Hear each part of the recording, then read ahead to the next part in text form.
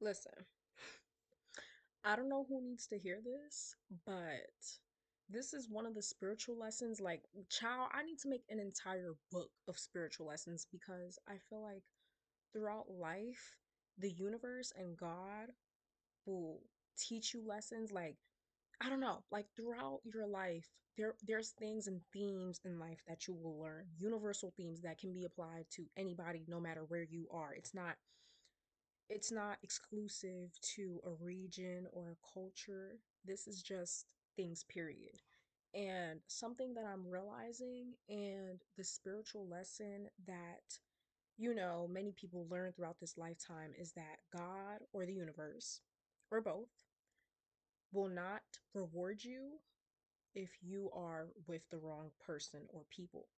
Now, this could be like romantic or platonic relationships. It could be your romantic partner, or it could be the type of people you hang around. For example, if you are hanging around people who are low vibrational, they're not on your energy, they are doing low vibrational or just negative behaviors like stealing, lying, just doing really unkind behaviors, you will not only not get your rewards that you're supposed to get in this lifetime or like at that current time, but you will also get their bad karma.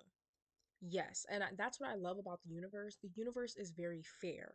It's like you can't hang around people who do evil, act like you're blind, and then expect good to come to you. No, you being a bystander, you're also getting that that negative karma.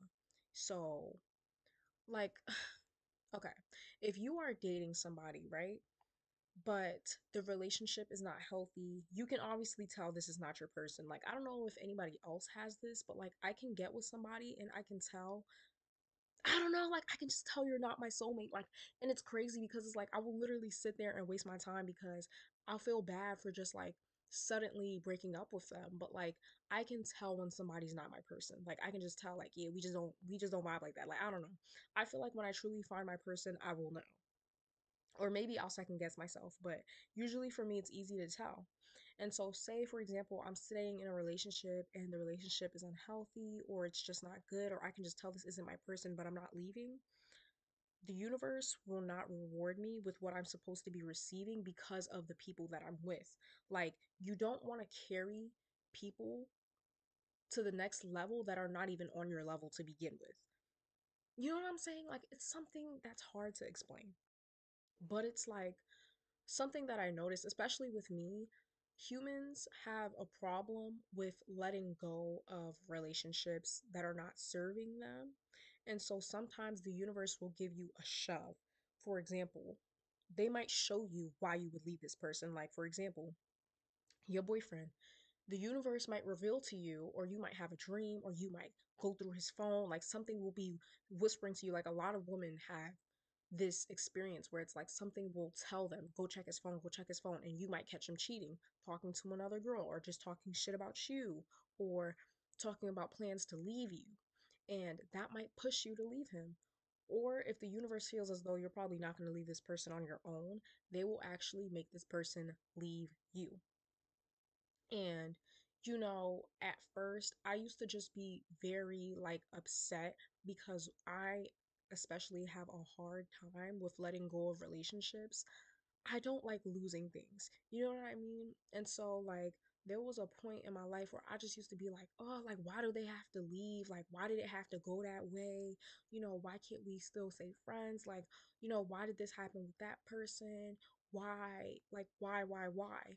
Especially for me, it usually happens close to the new year. So like I remember the year of 2022, that is when I kind of almost like kind of semi like but basically ended things with the nonchalant guy that I was talking to. It was really toxic. Um just a really horrible situation and it ended very poorly. Like I got added to a group chat. They bullied me. They called me derogatory names like hoes and sluts and Um, they tried to expose me for cheating on him, but I never did because we were not together. And when we were together, he cheated on me the entire time with my cousin. It was a really horrible situation, and that happened, right? again, I was left crying for two weeks. Like I was crying because of the way it happened and like I was attacked. Um, but I was also crying because of how things ended and the fact that things ended, period. Um, another situation was like it was like close to the end of the year and I actually stopped talking to one of my friends that I had in high school. I'm not gonna say too much information, but if you know, you know. And that happened close towards the end of the year. And I just remember thinking, like, why? Like, why did things have to end? Why did it have to go that way? And then that's when that's how I started my YouTube channel in the first place. I had an epiphany. I was like, wait a minute these things are happening because I call it almost like an energetic purging. Like the universe is purging your social life, it is purging those energies around you who do not serve you or you just can't go to the next level with them. You know what I mean? So it's crazy. It's it's crazy because you don't realize that in the moment. You're just like, oh, like almost ungrateful. Like, why did this happen? Why did it have to go like this? But now I'm thankful whenever people leave my life or you know what I mean? Whenever I lose connections, that means it was never supposed to be there in the first place or it no longer serves me anymore and I just have to move on to the next step, you know?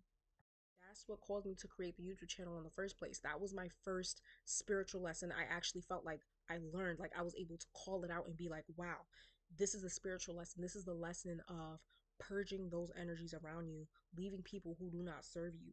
And if you don't do it yourself, after a certain amount of time, the universe will do it for you. And like I said, the universe does not run on a clock.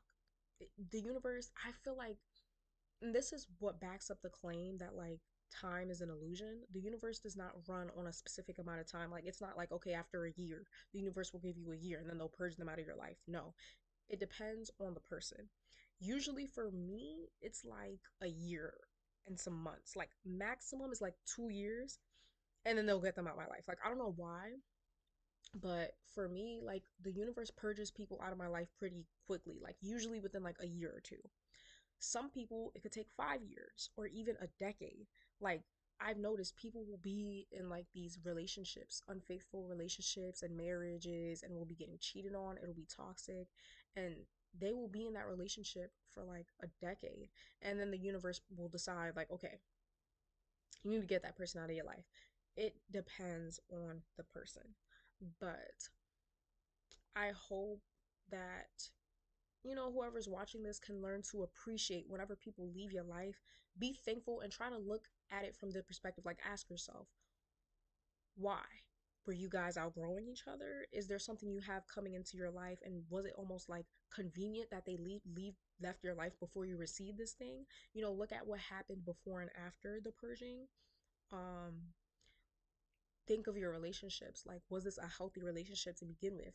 I'm telling you this now all of the people that I no longer have in my life were not good relationships. They were people who took advantage of me, lied to me, talked shit behind my back, was never even a real friend to begin with.